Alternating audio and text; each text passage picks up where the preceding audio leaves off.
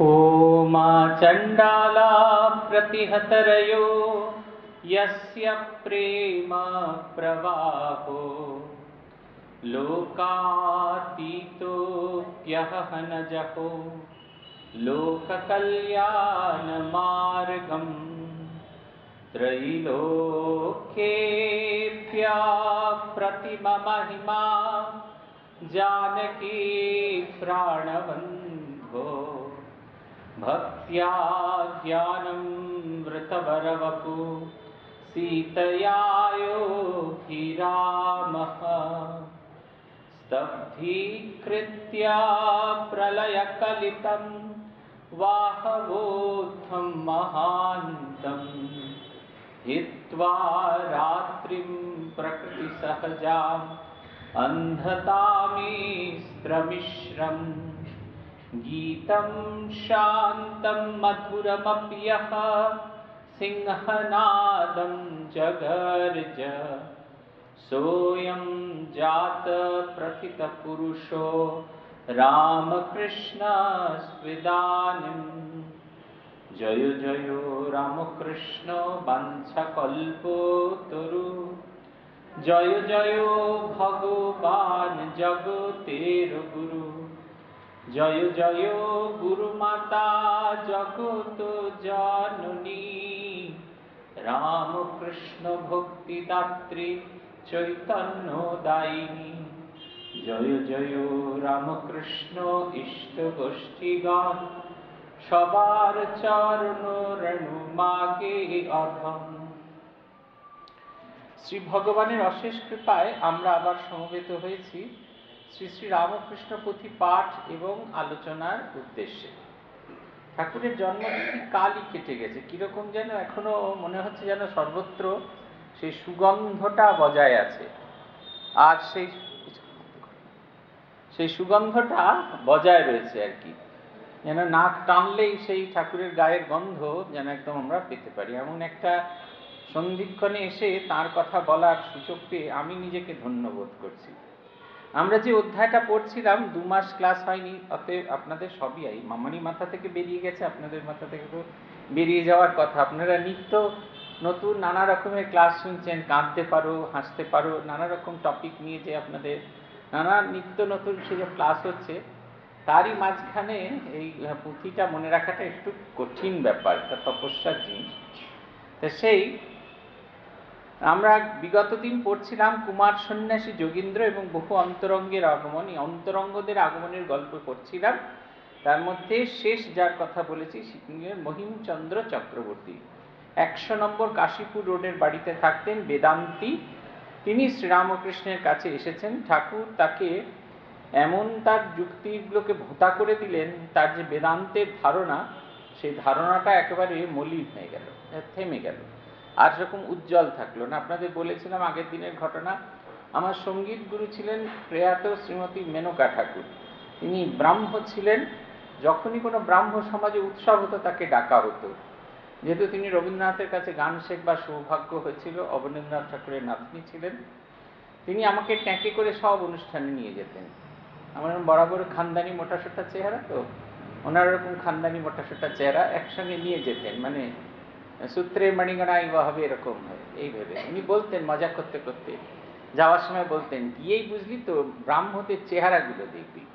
দেখবি একবার শুকনো একদম।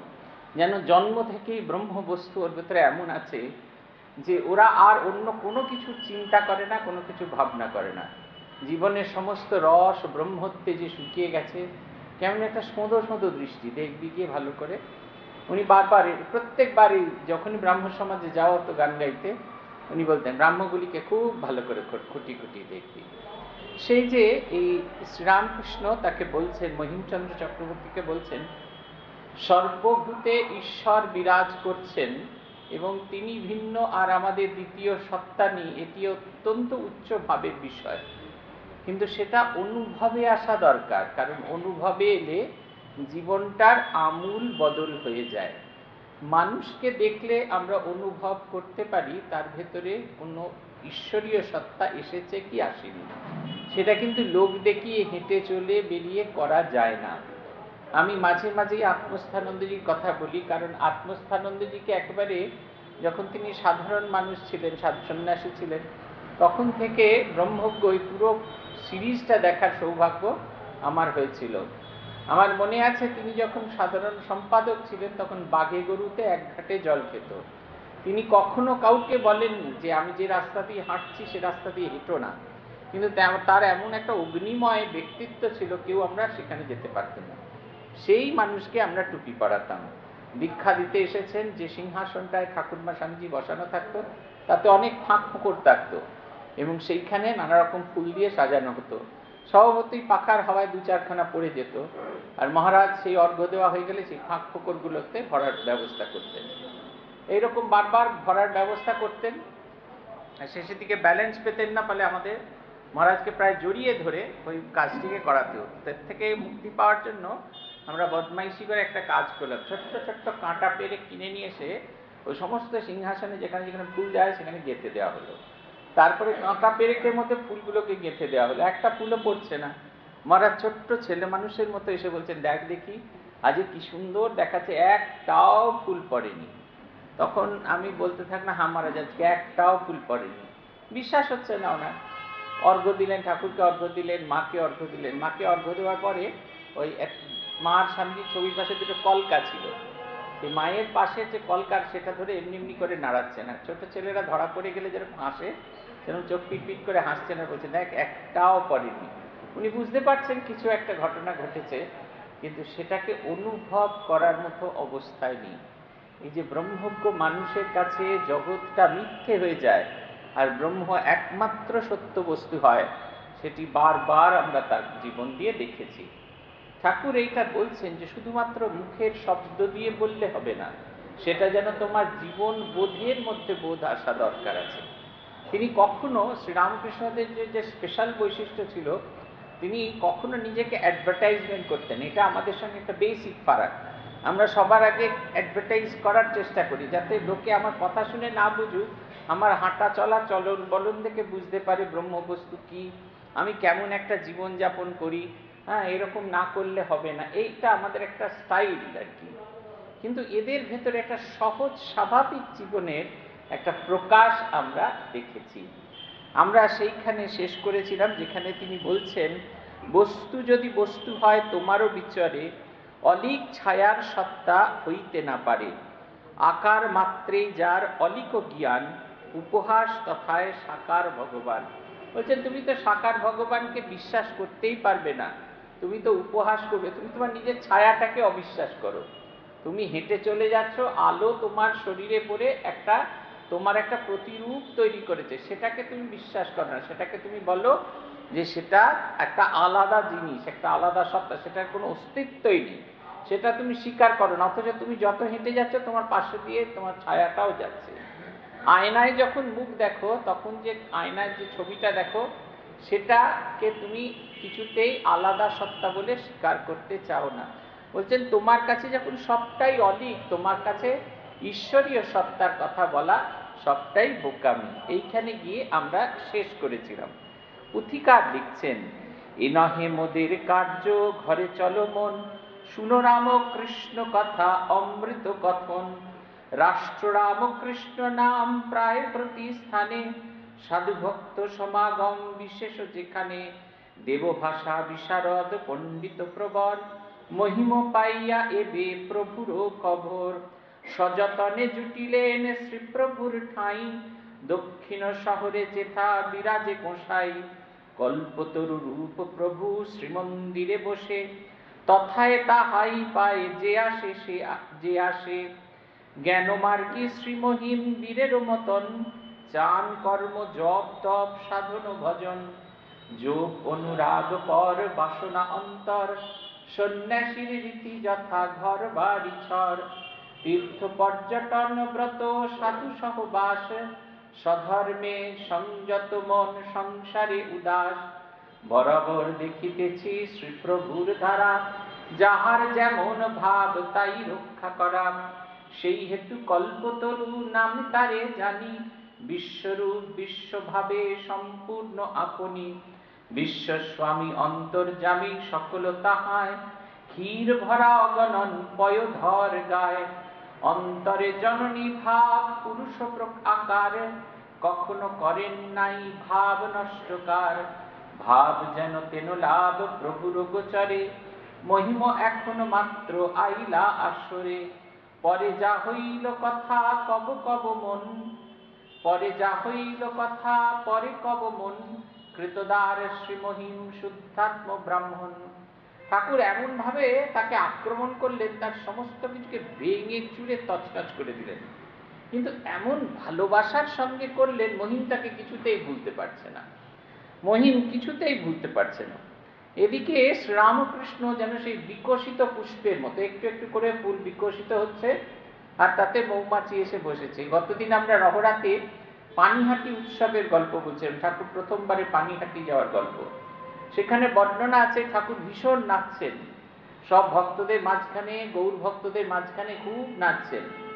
নাচতে নাচতে একবারে ঘর্মাক্ত কলেবার তখন ঠাকুরকে একটুখানি শান্ত করার জন্য, একটু স্বস্তি দেওয়ার জন্য নিয়ে এক জায়গা থেকে আরেক জায়গায় নিয়ে যাওয়া হলো।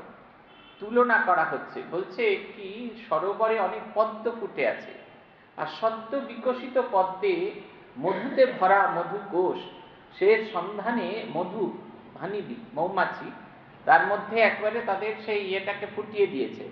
তাদের যন্ত্রটিকে একবারে ভেতরে ফুটিয়ে একবারে চা চা করে এ খাচ্ছে, মধু খাচ্ছে। বলছে, জগতের কোনো কিছু তাদের মনে হচ্ছে না। এই ফুলের পাপড়িগুলো যদি বন্ধ হয়ে যায়, তারা তখনই মারা যাবে। সব কোনো বোধ হচ্ছে না।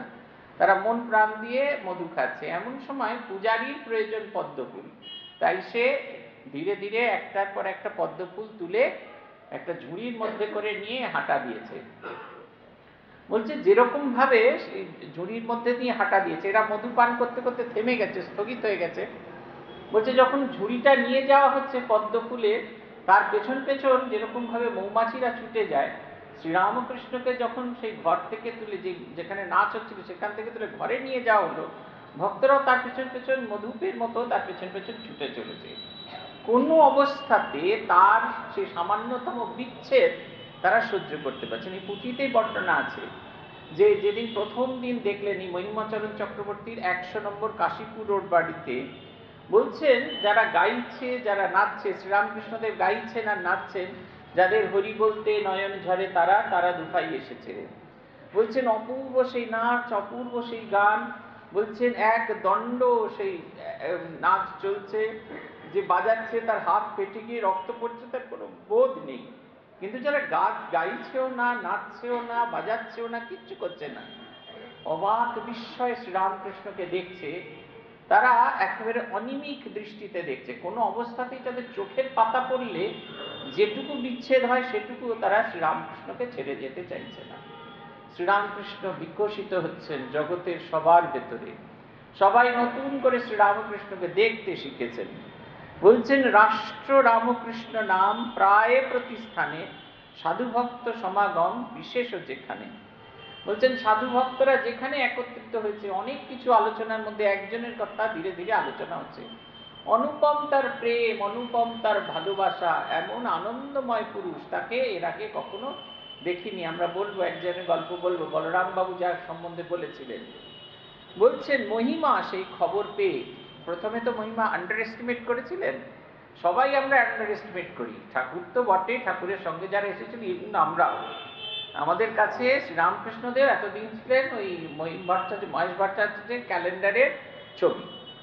ওইটির বাইরে প্রথম শ্রীরাম, প্রতি বাঙালি ঘরে এই ক্যালেন্ডার ছিল আর এই ছবি, তাতেই আমাদের সমস্ত কিছু শ্রীরামকৃষ্ণ সম্বন্ধে জানা।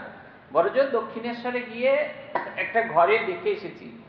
কিন্তু তার যে মাহাত্ম, তার যে জীবনবোধ, তার যে জীবনের গল্প, আমাদের জীবনকে আমূল বদলে দেয়, এগুলো সম্পর্কে আমরা অবহিত ছিলাম না। আমাগুড়ি দিচ্ছেন কেন বুড়ো বয়সে? হয় সেকেন্ড চাইল্ডহুড তৈরি হয়, চুলে সাদা লাগলেই সেকেন্ড চাইল্ডহুড শুরু হয়। তা সে যত সময় যাচ্ছে, তত যেন ঠাকুরকে ঘিরে মানুষজন আসছেন এই জ্ঞান ইনি, মহিম। তিনি চান কীরকম না জপ, তপ, কর্ম কর্ম, জপ, তপ, সাধন, ভজন। কীরকম চান বীরের মতন, এটা খুব ইম্পর্টেন্ট কথা। বীরের মতন মানে আলস্য নেই অনলস ভাবে করে যাওয়া। আমরা ওই দীক্ষার পর দু পাঁচ দিন খুব জব ধ্যান করি, তারপর আস্তে আস্তে আস্তে আস্তে কমতে থাকে কমতে থাকে কমতে থাকে। তারপরে ওই ঠাকুরকে দেখলে চোখের পলক দিয়ে প্রণাম করার চেষ্টা করি। আমাদের এই রকম দুর্গতি হতে থাকে। তিনি বলছেন, বীরের মতো শব্দটা ব্যবহার করছে, এটা হচ্ছে সাধুকের লক্ষণ। অনলস ভাবে তাকে ডাকবো অনলস ভাবে তাকে চিন্তা করব। এবং তিনি একটা ক্রমবর্ধমান, ধীরে ধীরে একটা নতুন ভাবের মধ্যে দিক যেতে চাইছেন। প্রথমে নিজেকে তৈরি করতে চাইছেন, তৈরি করতে করতে সেই ভাবের মধ্যে ডুবে যেতে চাইছেন। এবং সেই ভাব যত দূর তাকে নিয়ে যায়, তাতে যদি তাকে সংসার পরিত্যাগ করতে হয় সেই সংসার পরিত্যাগ করবার ব্যাপারেও তার এতটুকু কোনো রকম দুঃখ নেই। তীর্থ বলছেন, যোগ অনুরাগের পর, অনুরাগ পর বাসনা অন্তরে সন্ন্যাসীর রীতি যথা ঘর বাড়ি ছেড়ে। তীর্থ পর্যটন ব্রত, সাধু সহবাস সধর্মে সংযত মন, সংসারে উদাস। বলছেন, একটা সময়ের পরে তারা চান যে তারা তীর্থ পর্যটন করবেন, সাধুদের সঙ্গে সাধু সঙ্গ করবেন এবং এইভাবেই তারা থাকবেন, এইভাবে সংসারের মধ্যেই থাকবেন। আমাদের তো দীক্ষা নেওয়ার কথা ভাবলেই, অল্প বয়সী ছেলেপুলেরা দীক্ষা নেওয়ার কথা ভাবলেই যে সবাই যেটা বলতে থাকেন সেটা হচ্ছে বুড়ো বয়সের কাজ এত ছেলে মানুষ বয়সে কেন করবে? অনেকে খুব গর্ব করে বলেন, আমাদের এখনও দীক্ষা নেওয়ার সময় হয়নি, আমরা এখনও বোধ করছি না টান। অন্য সব কিছু বোধ করি আমরা, শুধু ভগবানের প্রতি টানটা আমরা অনুভব করতে পারি না। আমরা এইসা চালাক না আমরা সব কিছু বোধ করি। দিয়ে যদি না বাড়ে, তাহলে অর্থের অভাব বোধ করি। হ্যাঁ ঠিক সময় রবিবার দিন মাংস না হলে কষ্ট বোধ করি। এখন করোনা ভাইরাসের জন্য চিকেন খাওয়া যাচ্ছে না, তার অভাব বোধ করছি। কিন্তু ভগবানের অভাব আমরা বোধ করতে পারি না। এটার একদম সম্পূর্ণ উল্টো জিনিস দেখা দিয়েছে। যে কারণে আমাদের যে সামাজিক ব্যবস্থা ভেঙে পড়ছে আমরা হয়তো চতুরাশ্রম নিয়ম সবাই ঠিক ঠিক মতো পালন করতে পারি না। কিন্তু ভগবানের প্রতি যেন আসক্তি থাকে পঞ্চাশন্তর ভগবানের প্রতি আসক্তি থাকে যেন। কারণ এই বিষয় বিষ থেকে যত আমাদের মন ওপরে উঠতে থাকবে, এর আসল উদ্দেশ্য আর কিছু নয়। আপনার পরবর্তী জেনারেশন যারা তৈরি হচ্ছে, তারা যেন সঠিকভাবে বিকশিত হয়। আমরা কিছুতেই কোনো কিছু ছাড়তে চাই না, পরবর্তী প্রজন্ম বিকশিত হয় না। তারা বিকশিত হয়েছে, হতে চায় আর নিত্য দ্বন্দ্ব, নিত্য সংসারের অশান্তির মধ্যে একটা অদ্ভুত জীবন যাপন করি। উচ্চ চিন্তাও করি না, নিম্ন চিন্তা করার জন্য পাগল হয়ে যাই। তাই এর ভাবনাটা অদ্ভুত, তাই ঠাকুর এতটুকু বাধা দিচ্ছেন না। তার স্টাইলটাই ছিল, শ্রীরামকৃষ্ণের বৈশিষ্ট্য এটাই বরাবর দেখিতেছি শ্রীপ্রভুর ধারা, যাহার যেমন ভাব, তাই রক্ষা করা। কখনো কারুর ভাবটিকে তিনি ভেঙে দেননি যতক্ষণ না তার ভেতরের মধ্যে আসছে, ততক্ষণ পর্যন্ত তিনি আসেননি। তিনি পাঠশালায় গাইছেন, বাজাচ্ছেন, নাচছেন, কখনো বলছেন আমি পূর্ণব্রহ্ম নারায়ণ, আমার চিন্তা করো। কিন্তু এমনভাবে তাদের মনের ভেতরে গেঁথে গেছেন যে তাকে চিন্তা করার ছাড়া আর তাদের কোনো উপায় থাকছে না। অজান্তে তারা ভগবানের চিন্তা করছে, অজান্তে তারা উচ্চ চিন্তা করে নিজেদের আনন্দে রাখছে। কখনো দেখবেন না। কোনো দিন দেখবেন না। নরেন দত্তকে নিয়ে কত খেলা খেলেছেন। নরেন্দ্র দত্ত কম খেলেছেন শ্রীরামকৃষ্ণের সঙ্গে। উনি যেন সেই বড় মাছ ধরার মতো করে সুতো ছেড়েই গেছেন ছেড়েই গেছেন ছেড়েই গেছেন। যখন সে ধরা দিয়েছে, একেবারে তুলে নিয়ে এসেছে। তার আগে পর্যন্ত তিনি তার ওয়ান সাইডেড লাভ একমুখী প্রেম একেবারে বিতরণ করে গেছেন নরেন দত্তর দিকে। নরেন দত্ত গাইছেন না, বলছেন, না, আজকে এখানে বাজনা নেই, কিছু নেই, বলরাম মন্দিরের ঘটনা। তখন বলছেন, বাপু, আমাদের ওই রকমই আছে। বলরামের ব্যবস্থা, আপনি নাচো, আপনি কাঁদো, আপনি গাও। সব নিজে নিজে ব্যবস্থা করে নাও। বলছে হ্যাঁ তুই আমাদের এখানে গাইবি কেন? যার নাই, যার আছে কানে শোনা, তার কথা আনা আনা। যার নেই পোঁদে কেনা তার কথা কেউ শোনে তুই আমাদের কথা শুনবি কেন? তুই তো গান গাইতে বললে, তুই বলি, আজকে কোথায় কাজ আছে? না, গুহদের বাগান বাড়িতে এখানে যেতে হবে, সেখানে যেতে হবে। লড়াই করছে নরেন্দ্রনাথ দত্তকে। একবারও বলছে না, আমরা হলে বলতাম হ্যাঁ আমি বলছি, তুমি গাইছো না? একবারও শ্রীরামকৃষ্ণের জীবনের মধ্যে একবারও দেখবেন না জিনিসটা। এই বলছেন, প্রত্যেকের ভাব যেন তিনি রক্ষা করছেন, প্রত্যেকের ভেতরে সেই ভাবটাকে তিনি বিকশিত করার চেষ্টা করছেন। উদাহরণ দিচ্ছেন, সেই ছোট ছেলে, সেই অ্যাডাল্ট গল্পটার মতো, মা, কাল সকালে হাগা পেলে আমাকে তুলে দিও। মা বলছেন, বাবা, হাগাই তোমায় তুলে দেবে। হাগাটা হচ্ছে ডিজায়ার আমি ভালো হতে চাই, আমি যে অবস্থায় আছি সেই অবস্থা থেকে উন্নত হতে চাই। এটি এই বোধ আমাদের মধ্যে না এলে আমরা কিছুতেই বিকশিত হতে পারব না। জগতের যাবতীয় ভালো কিছু তার মধ্যে দিলেও সেটা হবে না। আনলেস তার ভেতরে এই বিকাশ, এই বোধটা আসে, আমি যে অবস্থায় আছি তার থেকে উন্নততর অবস্থায় যেতে চাই। বলছেন, সেই কারণে শ্রীরামকৃষ্ণকে কল্পতরু বলছেন। কল্পতরু কেন? যে যা চাইছে তিনি উদার হাতে দিয়ে যাচ্ছেন, উদার হাতে দিয়ে আগের দিন বলেছিলাম law of diminishing marginal utility আমাদের ক্রমরাসমান প্রান্তিক উপযোগিতা বিধির গল্প। আমাদের অর্থনীতিতে পড়ানো হয়। একটা কমলা লেবু খেলেন, খুব আনন্দ পেলেন, পুরো পয়সা দিয়ে দিলেন, তারপরে আবার মনীন্দ্র কলেজের সামনে আবার একই রকম কমলা লেবু পেলেন। বলছেন, না বাপু, গতবারে একশো পয়সা দিয়েছে বা সাতানব্বই পয়সা দেবো। মানে তার ইউটিলিটি প্রান্তিক উপযোগিতা কমতে থাকছে। মার্জিনাল ইউটিলিটি কমছে। তারপরে আবার শ্যামবাজার মোড়ে গিয়ে ট্রেডার্স অ্যাসেম্বলির সামনে দিচ্ছে, তখন বলছে, না বাপু, তিরানব্বই পয়সার কমে দেবো না। আরও কমছে। হাতিবাগান মোড়ে রাধা সিনেমার সামনে গোপ থেকে ফ্রিতে দিচ্ছে। বলছে, না বাবু আমি খাব না। কার্ডটা একবারে নেগেটিভ নিচের দিকে চলে যায়। তাই তিনি এত দিচ্ছেন এত দিচ্ছেন এত দিচ্ছেন, যতক্ষণ না পর্যন্ত আমাকে ডিজায়ারলেস না করেন, সেই অবস্থা অবধি, আমাকে বাসনা শূন্য করার কাজে তিনি লেগে যাচ্ছেন। তাই তিনি কল্পতরু, যা চাইতেন তাই দিচ্ছেন। খুব সাবধানে সেখানে চাইতে হয়। তাই বলছেন, বিশ্বরূপ, বিশ্বভাবে সম্পূর্ণ আপনি। কেমন তিনি? বলছেন, তিনি সেই মায়ের মতো। মা জানেন ছেলেটার শরীর খারাপ হবে। মা জানেন, বেশ চিনি দিয়ে ক্ষীর বানালে শরীর খারাপ হবে। অথচ ছেলেকে ক্ষীর না দিলে চলবে না। মাথায় চিনির মতো জিনিস করেছেন। স্যাকারিন অথবা ওই আজকাল যে সমস্ত সব বেরিয়েছে, সেই সব দিয়ে করছে। ছেলে বুঝতেই পারল না। সে ভাবছে, দেখেছে, মা আমাকে কত ভালোবাসে। মা কিন্তু খুব ভালোবাসেন। একদিক তার স্বাস্থ্যের কল্যাণ দেখছেন, আবার তার মনের কল্যাণও দেখছেন। বলছেন শ্রীরামকৃষ্ণ ঠিক সেই রকম। অন্তরে জননীর ভাব, পুরুষ আকার, কখনো করেন নাই ভাব নষ্টকার ভাব যেন তেন লাভ, প্রভুর গোচরে। মহিম এখন মাত্র আইলা আসরে। মহিম তো এই সবে আসরে এলো, এবার অনেক যাত্রাপালা হবে। বলছেন, পরবর্তীকালে সেই কথা বলব। পরে যা হইল কথা পরে কবমন কৃতদার শ্রীমহিম শুদ্ধাত্ম ব্রাহ্মণ। এটা একজনের গল্প হয়ে গেল। এবার আরেকজনের গল্প বলব। তিনি হলেন প্রাণকৃষ্ণ মুখোপাধ্যায়। জনৈক অদ্বৈতবাদী জনায়াতে জনায়েতে ধাম।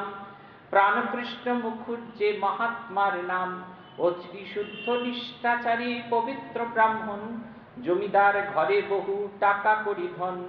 উপনীত এ সময়ে প্রভুর গোচরে কিরূপে কি আসে কথা শুনো অতঃপরে। ভক্তবার ভক্তবর বলরাম বৈষ্ণব চরিতে, প্রাণকৃষ্ণ মুখুজ্জের পূর্ব পরিচিত। একদিন দেখা শোনা হয় পরস্পর, কথায় কথায় উঠে প্রভুর খবর। প্রীতিভরে সবিস্ময়ে বলরাম কন, অতীব আশ্চর্য সাধু পুণ্য দর্শন।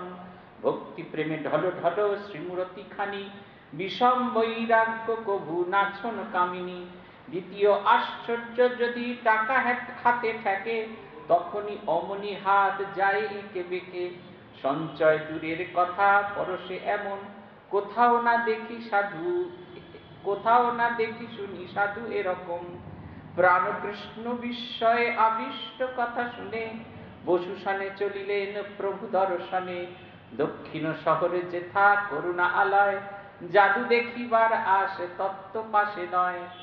অদ্ভুত প্রাণকৃষ্ণ মুখোপাধ্যায়ের বাড়ি জনাইতে জনায়ের মনোহারা খুব বিখ্যাত। আপনারা বোধহয় সবাই কম বেশি খেয়েছে না খেয়ে থাকলে ইদানিং তো সবই বানাচ্ছে আমাদের বলরাম, মল্লিক রাধারমন মল্লিক খেয়ে নেবেন তাহলে জনাইয়ের বিখ্যাত জিনিসটা বুঝতে পারেন চিনির মন্ড ভেতরে ছানা টানা থাকে, তার মধ্যে চিনির রস দিয়ে শক্ত করে বানায়, যে কারণে জনাই খুব বিখ্যাত।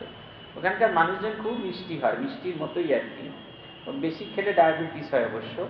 অতি শুদ্ধ। দেখুন কি অপূর্ব বর্ণনা। এই পুথিকারের যেটা দেখার জিনিস, এত অল্প লেখাপড়া শিখেছিলেন, কীভাবে তিনি ব্যক্ত করবেন ঘটনাটাকে তিনি জানতেন। আপনারা যদি প্রথম অধ্যায়, প্রথম দিকগুলো দেখেন, অনেকটা সেই আমি বলি অঙ্ক পাস অঙ্ক কাঁচা ছেলেদের পরীক্ষার মতো। যারা যেমন হাফিয়ারলি পরীক্ষা এলে ঠাকুরের হাতে পায়ে ধরে, হে ঠাকুর, এবারের মতো পার করে দাও।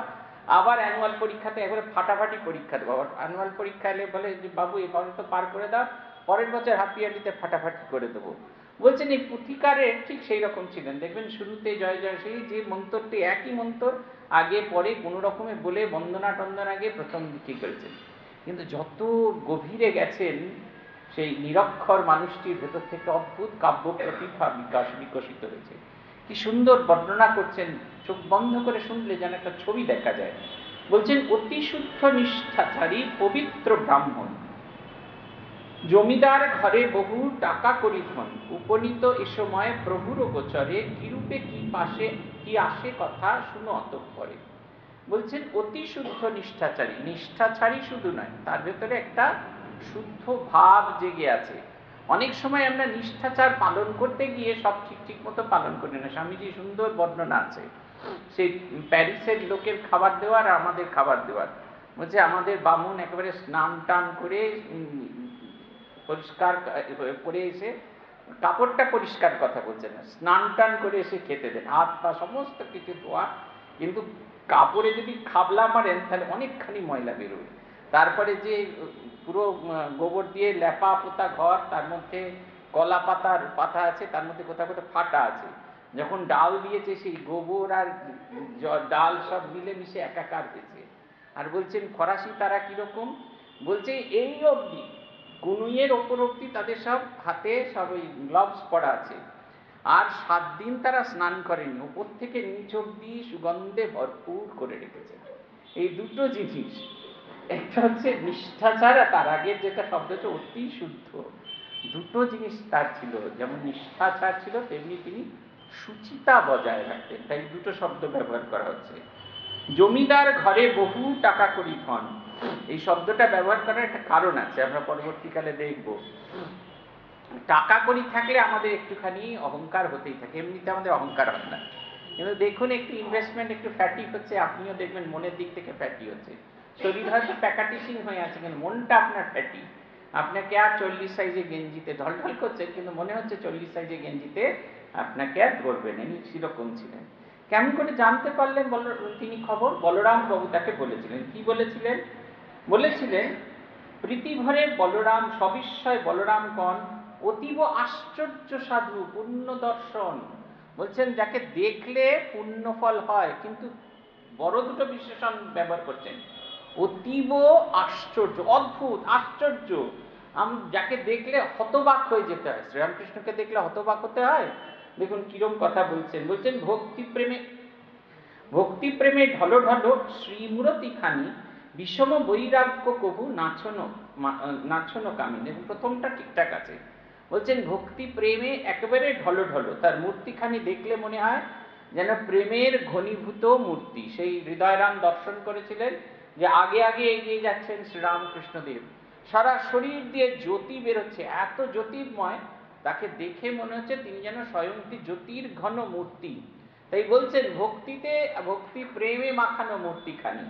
কিন্তু বলছেন বিষম বৈরাগ্য। বোঝাতে, বৈরাগ্য তীব্র। বোঝাতে বলছে কখনো কামিনী স্পর্শ করে এই কামিনী স্পর্শ করার অর্থ হচ্ছে ডিজায়ারলেস বাসনা শূন্য যিনি এতটুকু, যার ভেতরে সামান্যটুকু জৈবিক বাসনা নেই। দ্বিতীয় আশ্চর্য, যদি টাকা হাতে হাতে থাকে দেখুন, আমরা তো এসবই বেশি ভালোবাসি।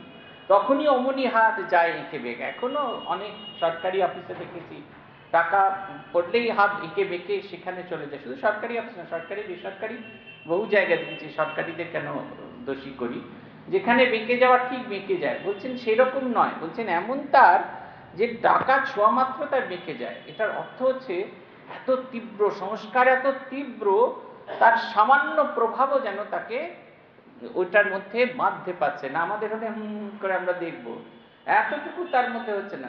তো ইয়েতে গেছেন দেওঘরে গিয়েছেন, সেখানে গিয়ে গরিব মানুষদের কথা অবস্থা দেখে তিনি মথুরামোহনকে বলছেন যে, মথুরামোহন, এরা বড় দরিদ্র, এদের খেতে দাও, এক মাথা করে তেল দাও, একটা করে নববস্ত্র দাও। মথুরামোহন অমন আজ্ঞাকারী মথুরামোহন, সে বলছেন, টাকা রোজগার কিরম ভাবে করতে হয়, সে তুমি জানো? তুমি তো বলেই খালাস। কিন্তু ইনি আমাদের হলে এরকম স্পন্সারের মধ্যে, বাবা, কি দরকার? এখন কাশি টাশি অনেক বাকি আছে। চলো বাবু মথুরামন যা বলছি তাতেই শুনি। কিন্তু এতটুকু বললেন না। বললেন, ওরে শালা, তোর কাশি আমি নাকি যাব? আমি কাশিই যাব না, এইখানেই থাকব।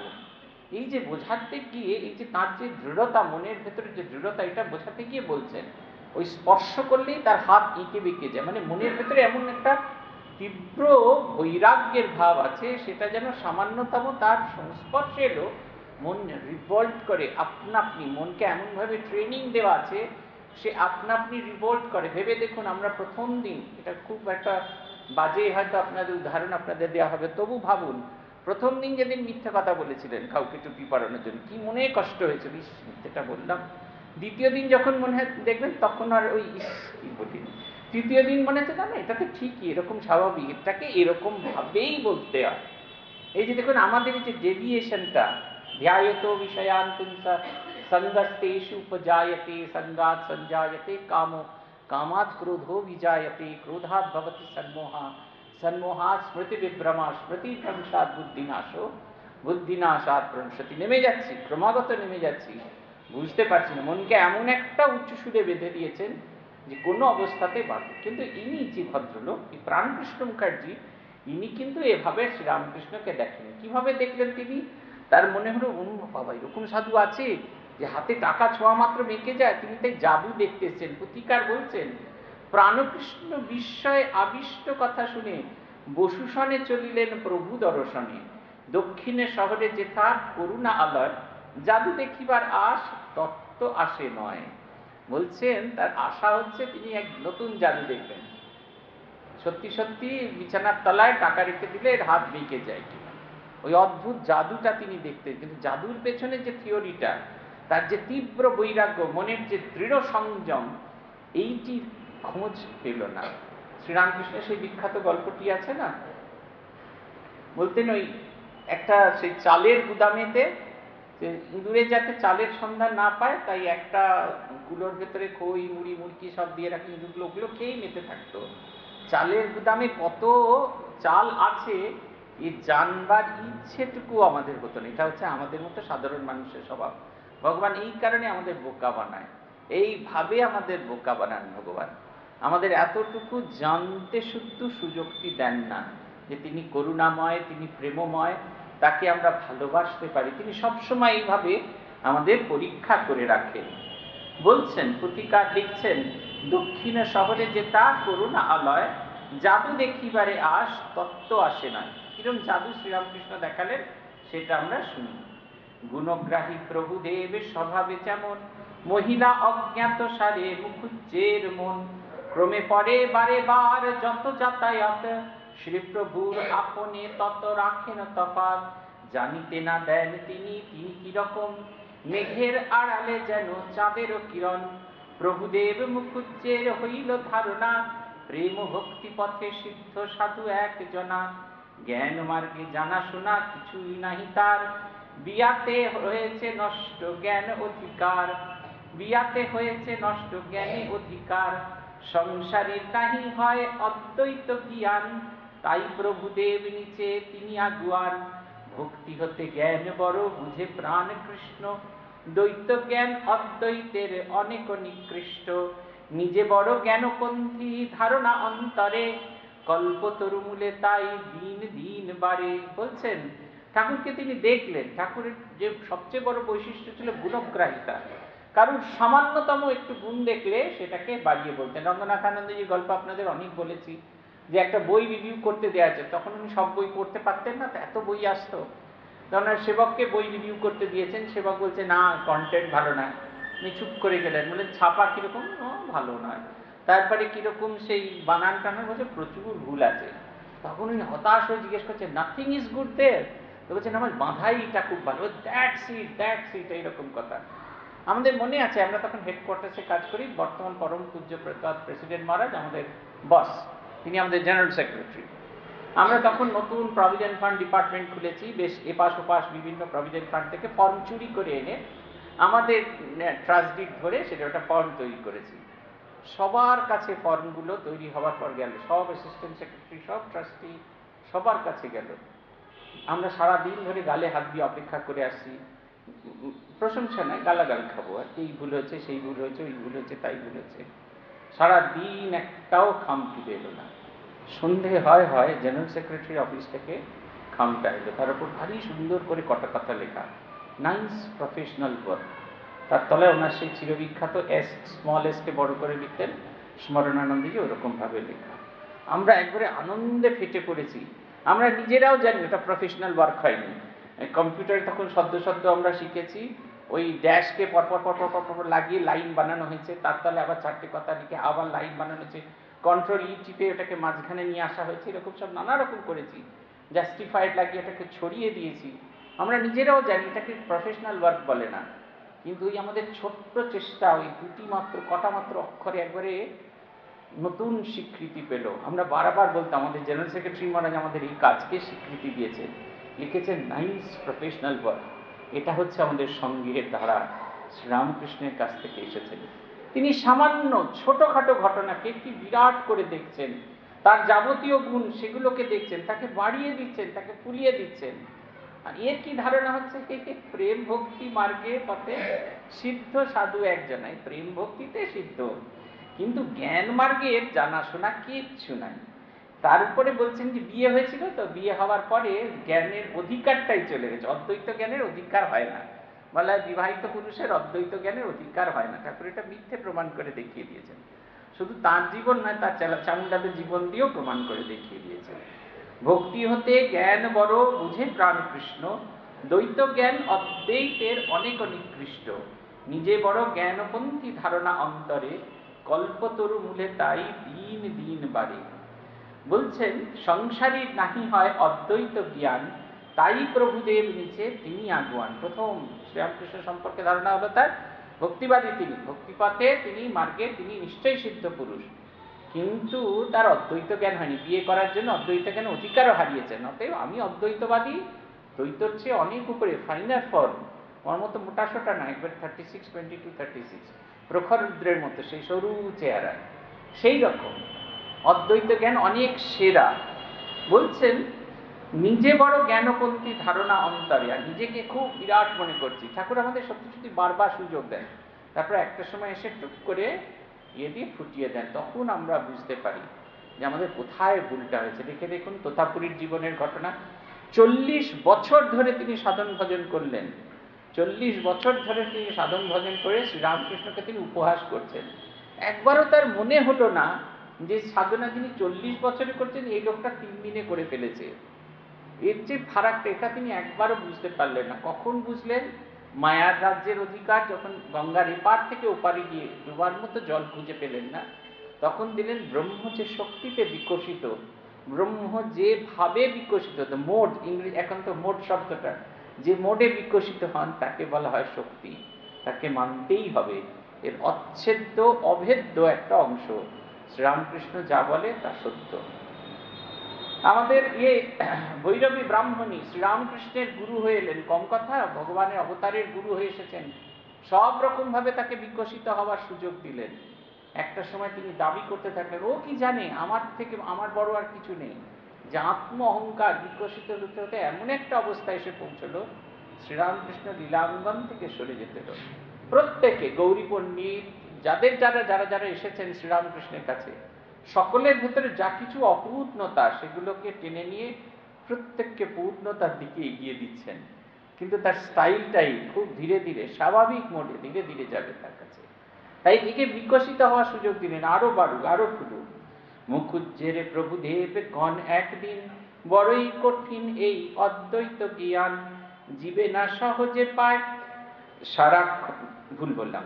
স্বভাব রক্ষণে বড় শ্রীপ্রভু প্রবীণ মুখুচ্চেরে প্রভুদেব কন একদিন, বড়ই কঠিন এই অদ্বৈত জ্ঞান, জীবে না সহজে পায় ইহার সন্ধান।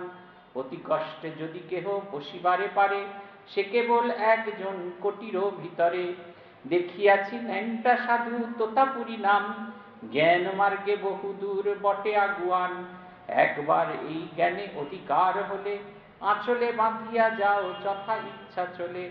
তালে তালে পরে পদ বেতালানা হয়। অদ্বৈত জ্ঞানের এই সার পরিচয়। জ্ঞানের প্রাধান্য কথা প্রভুর বদনে।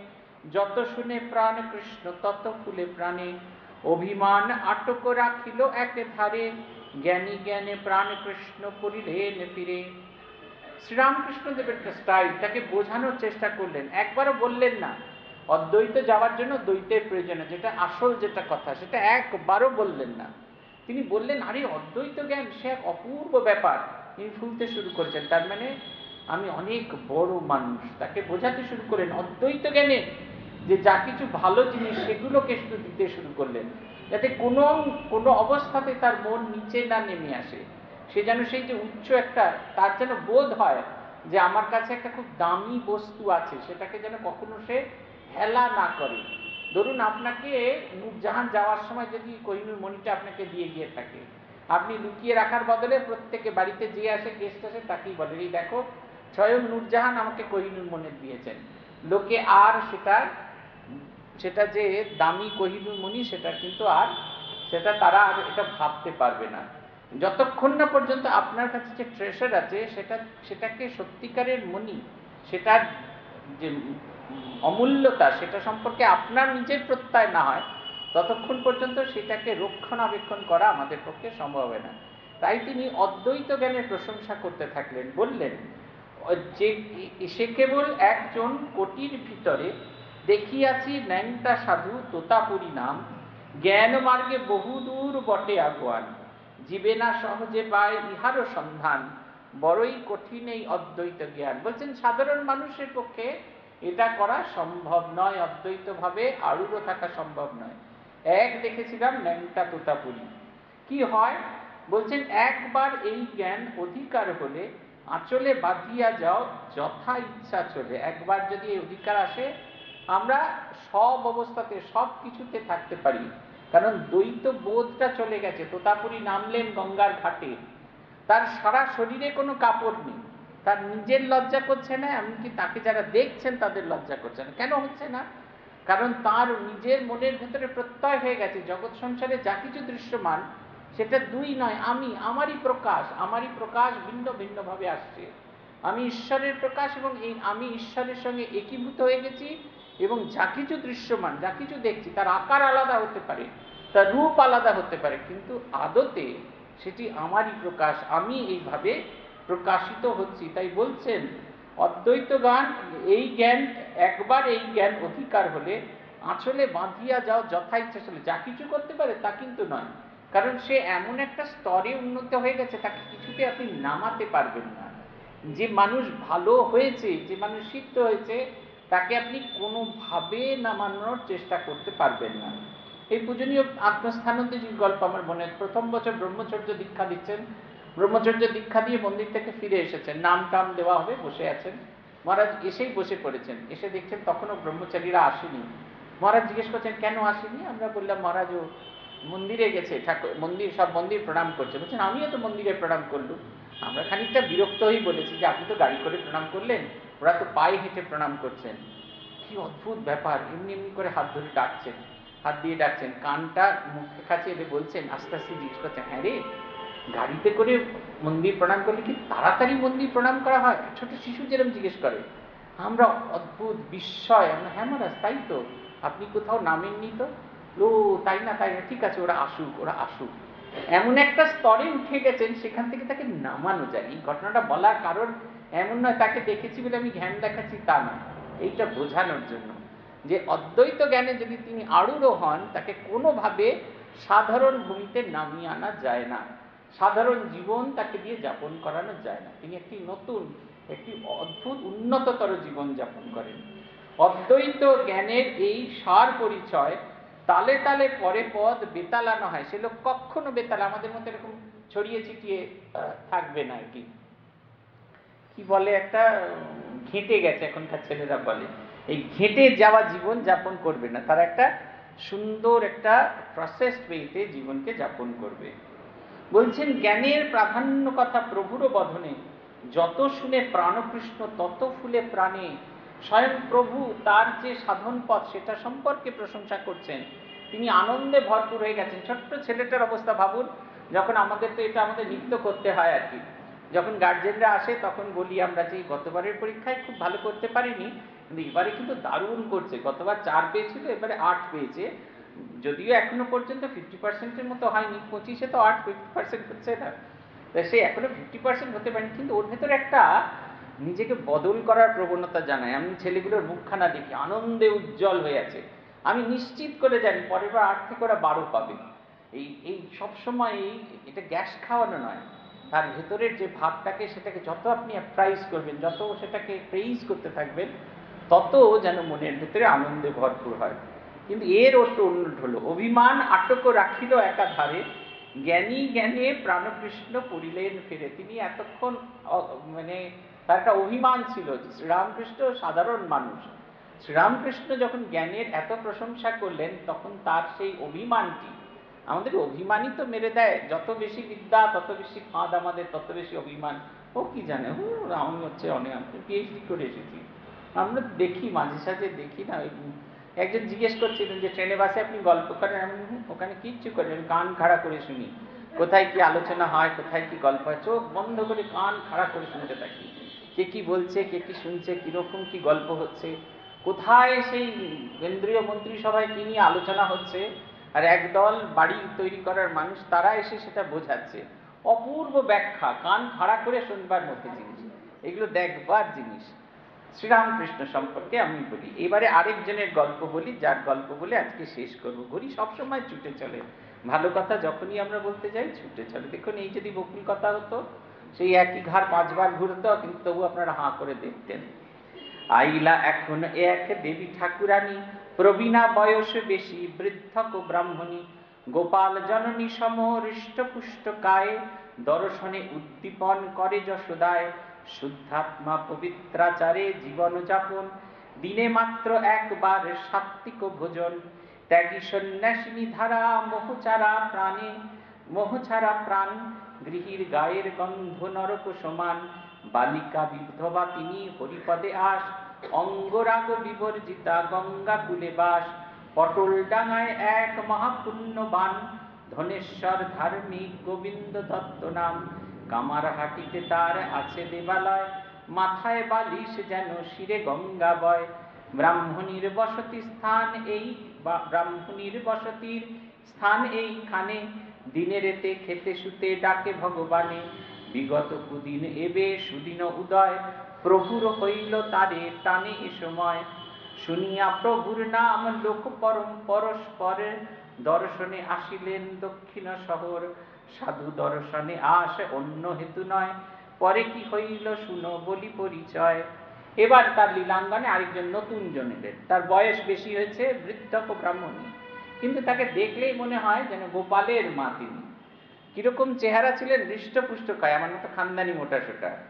বলছেন, কিন্তু যেটা ফারাক আমার সঙ্গে তার, সেটা বলছেন, দর্শনে উদ্দীপন করে যশোদায়। গোপাল ভাবে তিনি সাধন ভজন এমন ভাবে করেছেন যে, গোপালের তিনি জননী, তিনি যে স্বয়ং মা যশোদা, সেই ভাবটা তার ভিতরে ইনভাইট হয়ে গেছে। সেটা যেন তার শরীরের একটা অংশ হয়ে গেছে। স্বামীজি বলছেন না যে, বড় কাজ করবার জন্য কীরকম করতে হবে? বলছেন, একটা ভাবকে গ্রহণ করো। দিন রাত চিন্তা করো, শয়নে, স্বপ্নে জাগরণ সর্বাবস্থায় সেইটিকে করো। এমন ভাবে সেই চিন্তা করো যেন তোমার প্রত্যেকটি শিরা উপশিরা সেই ভাবগুলোকে গ্রহণ করতে যাও তোমার নিজের আপন যে সত্তা, সেটাকে হারিয়ে সেই সত্তার ভেতরে নিজেকে তুমি একবারে সেই ছাপের ভেতরে ফেলে দাও। ইনিও ঠিক তাই। কীরকম শুদ্ধাত্মা পবিত্রাচারে জীবন যাপন, দিনমাত্রে একাধিক সাত্বিক ভোজন দেখুন, অনেকগুলো ভালো ভালো কথা আছে শেখার মতো।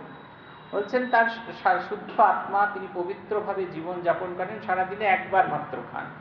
তারপরে বলছেন, ত্যাগী সন্ন্যাসিনী ধারা, মোহ ছাড়া প্রাণ, গৃহীর গায়ের গন্ধ নরক সমান। সন্ন্যাসিনীরা ঠিক যেরকম মোহ ছাড়া পান, মোহ মানে কোনো কিছুর মধ্যে মায়া, মমতা কিছু নয়, তা নয়। এই মোহ ছাড়া প্রাণ অর্থ হচ্ছে, কোনো বন্ধন তাকে বাঁধতে পারে না। তিনি এমনভাবে একটা জীবন যাপন করেছেন, কোনো বাঁধনেই তাকে কোনোভাবে গিট দেওয়া যায় না। তাই বলছেন, মোহ ছাড়া প্রাণ। গৃহীর গন্ধ নরক সমান মানে এই যে গৃহের যে আমাদের যে আবর্জনা, আমরা যে আবর্জনা করে মনের ক্ষয় করি, পূজনীয় আত্মস্থানজি আমাদের বলতেন, দেখ, মন হচ্ছে ঈশ্বরকে ডাকার একটা সবচেয়ে বড় জিনিস। কখনো সেটাকে অলস চিন্তা করে তাকে ক্ষয় করবি মনের ক্ষয় করতে নেই। ঈশ্বর চিন্তা পুরো মনের সমস্ত শক্তিটুকু দিয়ে করতে হয়। তাই বলছেন যে গৃহীর গায়ের গন্ধ নরক সমান। তারপরে বলছেন, দেখুন, আরেকটা কথা। বালিকা বিধবা তিনি হরিপদে আস, অঙ্গ রাগ বিবর্জিতা গঙ্গা কুলে বাস। এটা আমার ভীষণ ভালো লেগেছে। তার গায়ে অলকা তিলকা কিচ্ছু আঁকা নেই। তিনি যে বৈষ্ণব, তার এই আচরণ দিয়ে তিনি বোঝাতে চান, তার এই সাজগোজ দিয়ে বোঝাতে তিনি তার আচরণ দিয়ে বোঝাতে চেয়েছেন, তিনি বৈষ্ণব। তার এই কপালে ইয়ে নেই। আমি বলছি না, ওগুলো লাগালে খারাপ, কিন্তু এইরকম ছিলেন তিনি। কোনো অ্যাডভার্টাইজমেন্ট নেই। আমাদের যেরকম অ্যাডভার্টাইজমেন্ট আছে, দেখুন গলায় দেখুন রুদ্রাক্ষের মালা আছে, এই আছে, তাই আছে। কোনো অ্যাডভার্টাইজমেন্ট নেই। বলছেন, কোথায় থাকতেন তিনি? গোবিন্দ দত্ত বলে এই আমাদের এতে থাকতেন, পটলডাঙ্গায় তিনি, তার বাড়ি ছিল। তার ঠাকুর বাড়ি ছিল গঙ্গার। কীরকম? বলছেন, মাথায় বালিশ যেন শিরে গঙ্গা বয়। এটার অর্থ হচ্ছে, তার ঘরটা একবারে গঙ্গার ধারে ছিল। তিনি তার মাথা যেন গঙ্গাতে থাকতেন। মানে এত গঙ্গা, এত কাছে ছিল, বালিশ যদি বা গঙ্গা করে তিনি শুতেন তাহলেও হতো। ঘরটা এখন ভেঙে, গঙ্গা গর্ভে বিলীন হয়ে গেছে। বলছেন, ব্রাহ্মণীর বসতির স্থান এইখানে, দিনের এতে খেতে শুতে ডাকে ভগবানে। বিগত কুদিন এবে সুদিন উদয়, প্রভুর হইল তারে টান এ সময়। বলছেন, সারা জীবন তিনি টেনেছেন ভগবানকে, ভগবানের কথা ভেবেছেন, চিন্তা করেছেন। এতদিনে বোধহয় ভগবানের তার দর্শন দেবার সময় হলো। বলছেন, দর্শনে আসিলেন দক্ষিণ শহর শুনিয়া প্রভুর নাম লোক পরম। লোকের মুখে শুনে এলেন। কিন্তু তিনি অন্য কিছুতে আসেননি। তিনি বলছেন, শুধু সাধু দর্শন। সাধক একজন তাকে দর্শন করলে ভালো হয়? তাই তিনি এসেছিলেন। আর তার কোনো উদ্দেশ্য ছিল না। কিন্তু হলো কি সেটাই কথা। আপনার প্রিয় ভক্ত, দেখি ভগবান। অন্তরে উঠিছে তার সুখের তুফান। আদরে শ্রীকরে ধরি মিষ্টান্ন সন্দেশে। বৃদ্ধেরে খাই, বৃদ্ধারে খাইতা দিলা প্রভু পরমেশ। শ্রীপ্রভু পরিচয়ে বুঝেছে ব্রাহ্মণী কৈবর্তের ব্রাহ্মণ শ্রীপ্রভু গুণমণি। প্রভু দত্ত মিষ্টান্ন সন্দেশতে কারণ, না খেয়ে অপরে দিলা গোপনে গোপন। জানিয়াও প্রভু কিছু না কহিলা তাই, সেদিনে ব্রাহ্মণী নিজ নিকেতনে যায়। ঠাকুর তাকে দেখা মাত্র খুব আনন্দ করলেন। নিজের প্রিয় ভক্ত এসেছে যেমন আমরা প্রিয়জনকে দেখলে খুব আনন্দ করি, ঠিক সেই রকম নিজের প্রিয়জনকে দেখে তার খুব আনন্দ। বলছে, অন্তরে উঠেছে তার সুখেরও তুফান। তার শ্রীরামকৃষ্ণের এই গোপালের মাকে দেখে যেন মনে হচ্ছে তার হৃদয়ে যেন তুফান উঠেছে। আমাদের ভগবানকে দেখলে তুফান ওঠে, ভগবানের আমাদের দেখলেও তুফান ওঠে। বলছেন যে, আদরে শ্রীকরে ধরি মিষ্টান্ন সন্দেশ, বৃদ্ধারে খাইতা দিলা প্রভু পরমেশ। ঠাকুর একে তাকে বলতেন ওরে একে দে, ওকে তা দে। কিন্তু এখানে একবারে বৃদ্ধাকে নিজে হাতে করে সন্দেশ দিলেন। আর বৃদ্ধা কি করলেন? তিনি বললেন যে, শ্রীপ্রভুর পরিচয় বুঝেছে ব্রাহ্মণী কৈবর্তের ব্রাহ্মণ প্রভু গুণমণি বলছেন তার পরিচয় জেনে বুঝেছেন কৈবর্তের অন্ন গ্রহণ করে, কৈবর্তের ঠাকুর পুজো করে। মথুরা আমাদের রাসমণি তো কৈবর্ত, ছিলেন মাহিষ্য। অর্থাৎ তার বাড়িতে পুজো অর্চা করে, তাহলে বামুন আর বামুন আর সেখানে অগ্রগামী অগ্রদানী বামুনদের আমরা বামুন বলে মনে করতাম না। একটা সময় এখন তো সব বামুন অব্রাহ্মণকে ব্রাহ্মণ বলে আমরা মনে করি। সেই রকম অবস্থা।